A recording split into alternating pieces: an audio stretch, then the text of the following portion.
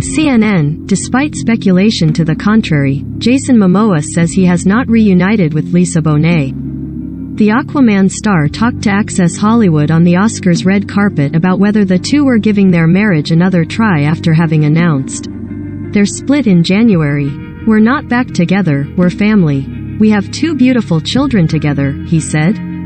We're not getting back together, we're family forever.